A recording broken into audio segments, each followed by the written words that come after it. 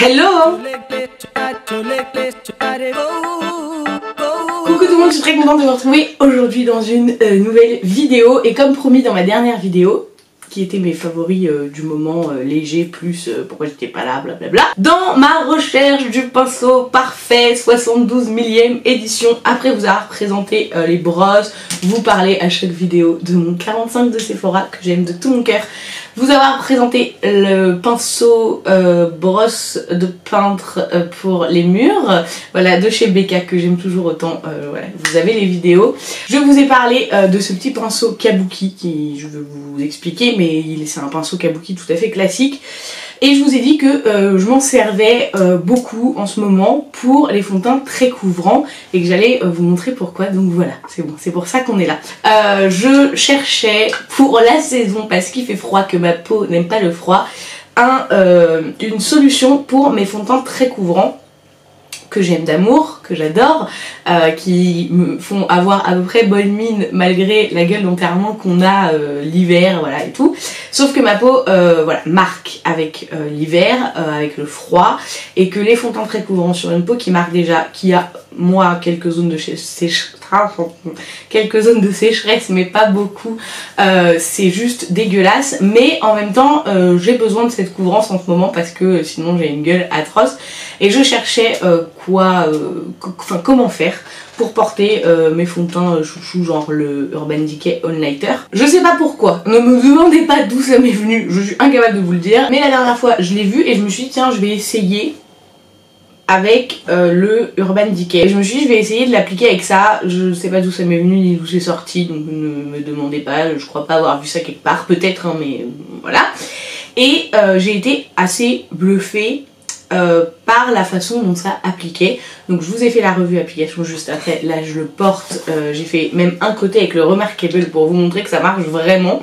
Euh, donc ça c'est les kabuki de chez Dior qui sont vendus, enfin donnés dans les boîtiers, enfin les qui sont donnés avec leur poudre de la collection Nude, Nude Air, Dior Skin Nude Air. Donc dedans vous avez des bronzers et des poudres qui sont en vente euh, toute l'année. Et en plus il y a les éditions limitées de l'été que j'achète souvent. Donc j'avais plusieurs de ces pinceaux. Euh, que je déteste pour justement tout ce qui est blush, poudre, etc. Parce que euh, ils perdent un peu leur poil, ils sont un peu rêches. Et pour le blush, j'aime pas du tout. ils sont trop, les poils sont trop courts et donc ça vous fait des pâtés. pour l'instant, j'ai trouvé que lui avec lequel ça marche. J'ai essayé avec d'autres pinceaux. J'ai essayé avec le Kabuki euh, de chez Makeup Forever qu'ils avaient sorti pour les bronzers Profusion, euh, qui est euh, très bien pour les bronzers, mais qui pour faire ce que vous allez voir dans l'application juste après, c'est-à-dire faire quelque chose de très léger mais qui reste couvrant avec un fond de teint, ça ne marche pas du tout. Pourquoi? Parce qu'en fait, les poils sont un peu plus longs, mais il est hyper dense. C'est-à-dire il y a beaucoup beaucoup de poils très serrés et donc ça, rend, ça le rend hyper dense. Et en fait ça fait pas du tout ce qu'il faut. Donc après je me suis dit je vais quelque chose de beaucoup moins dense. Donc j'ai essayé avec ça. Pour le coup c'est pas dense du tout. Euh, c'est le euh, blush brush de Real Techniques que j'adore pour le blush. Et là effectivement non, c'est comme ne rien mettre, il boit le fond de teint et tout, ça va pas du tout. Et euh, j'ai aussi essayé avec ce kabuki de chez Kiko. Et là, je pense qu'en fait, c'est juste un, ça pourrait aller, mais c'est un problème de taille. Enfin, de. Ouais, voilà, il est trop gros en fait, donc il va pas partout. Que ceux-là, que pourtant à la base je déteste, je les trouve juste parfaits pour appliquer un fond de teint très couvrant. Vous n'aurez pas du tout la même couvrance euh, qu'avec euh, un pinceau classique. Donc c'est vraiment pour quelque chose de léger pour tous les jours, pour aller vite. Et surtout pour les débutantes pour apprivoiser un fond de teint. Euh, quand je vous disais que le Remarkable de Marc Jacobs, c'était pas du tout un premier fond de teint, qu'il fallait pas l'acheter en premier fond de teint, je le pense toujours. Mais si vous avez beaucoup de problèmes d'imperfection et que vous voulez vraiment quelque chose d'aussi couvrant que ça comme premier fond de teint, avec un pinceau de ce type là, si j'arrive à trouver autre chose qui marche, je vous le mets en barre d'infos, mais en tous les cas celui-là ça marche. Avec ce genre de pinceau, vous allez euh, beaucoup mieux l'apprivoiser, vous allez pouvoir beaucoup mieux, voilà, il manque un mot quelque part, vous allez pouvoir beaucoup mieux appliquer et apprivoiser le fond de teint et c'est là que je trouve que ça c'est très bien. Donc euh, comment je l'utilise Tout à fait bêtement, c'est-à-dire je prends le fond de teint, j'en mets dessus ou sur le dos de ma main, je prends et j'applique. Ce que j'aime bien aussi c'est que ça boit pas du tout la matière. Alors euh, vous voyez, enfin là j'ai fait l'application avec lui, il y a une petite tache blanche mais il est pas du tout... Enfin, vous en avez pas. Enfin, il a pas tout bu et tout ça, quoi. Il est nickel. Est-ce que ça marche avec les fonds de teint euh, légers? Alors, j'ai pas essayé parce que il n'y a pas d'intérêt en fait. Ça marche, évidemment ça va marcher si vous voulez vraiment juste un voile, franchement allez-y ça va marcher. Ça va être encore plus léger que euh, d'habitude. Donc voilà, si vous êtes comme moi que vous en avez euh, et que vous savez pas quoi en faire ou quand vous les avez dans les euh, trucs Dior et tout que, vous les aimez pas comme moi parce que pour les joues ils sont trop en fait voilà ils sont trop gros à l'inverse trop ronds. Euh, et ben essayez-les en, pinceau à fond de teint parce que je vous assure que ça marche. Je vous laisse avec l'application pour que vous voyez un petit peu ce que ça donne sur Ponu je reviens juste après. Pour vous montrer euh, comment je fais un truc hyper naturel avec cette petite chose je vous ai sorti mes deux fonds de teint les plus couvrants du moment c'est à dire le Urban Decay Lighter que j'adore toujours autant depuis que vous m'avez pas vu.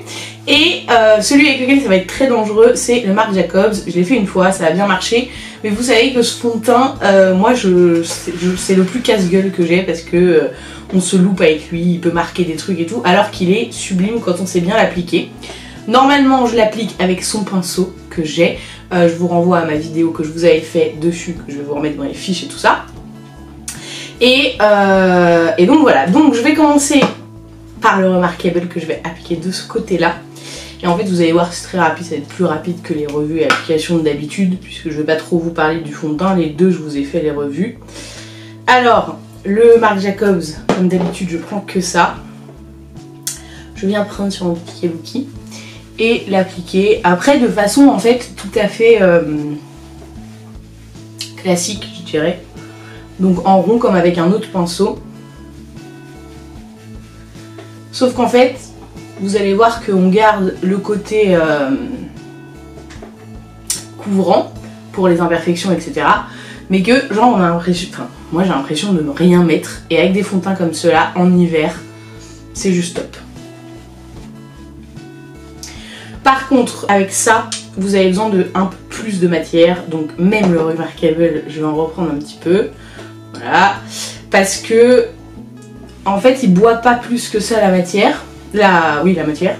Mais, il met du...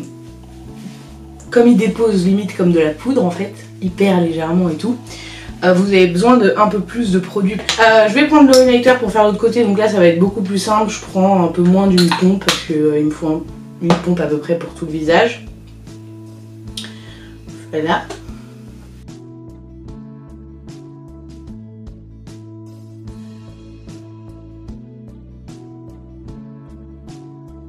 Et en deux secondes c'est fait. C'est appliqué. Ça fait très bizarre parce que le Urban Decay est plus rosé que le Marc Jacobs qui est jaune donc j'ai un côté un peu chelou mais euh, voilà. C'était pour vous montrer pour l'application. Pour ma part je trouve que le résultat est assez bluffant euh, sur des fonds de très couvrants parce que on n'a pas le côté du tout plâtre, mais on a, ça garde la couvrance et euh, en fait c'est exactement ce que je cherchais. Genre j'ai peut-être trouvé le Graal en fait pour tout ce qui est trop couvrant pour moi. Donc j'ai rajouté un peu de poudre, un petit peu de blush euh, pour que euh, voilà, j'ai l'air un peu plus humaine hein. Mais euh, vous voyez que ça marche super bien. Alors dites-moi si en commentaire et aux autres si vous avez d'autres astuces. Le problème c'est toujours que ça ne s'achète pas tout seul, enfin celui-là en tous les cas. Je suis contente de leur avoir trouvé une utilité parce que comme j'en achète souvent de ces blushs Dior en plus, bah ils traînaient dans un coin et tout et je sais pas j'en avoir 4 ou 5 et je m'en servais jamais au moins là je m'en sers. Donc si vous avez d'autres astuces pour appliquer votre fond de teint, enfin un fond de teint couvrant et le rendre un peu plus léger juste à l'application sans le couper avec autre chose. Dites-le nous en commentaire parce que je pense que ça peut en intéresser certaines ou si vous connaissez d'autres pinceaux que celui-ci qui font le même effet. J'espère que cette vidéo vous a plu, que ça vous a intéressé, euh, surtout si vous êtes comme moi et que voilà le fond de teint très courant en hiver votre peau elle kiffe euh, pas trop. Je vous laisse me retrouver sur les réseaux sociaux, tout est en barre d'infos, Instagram, Twitter, Snapchat, blablabla. Euh, D'ici à ma prochaine vidéo, je vous fais plein d'énormes bisous. Bye bye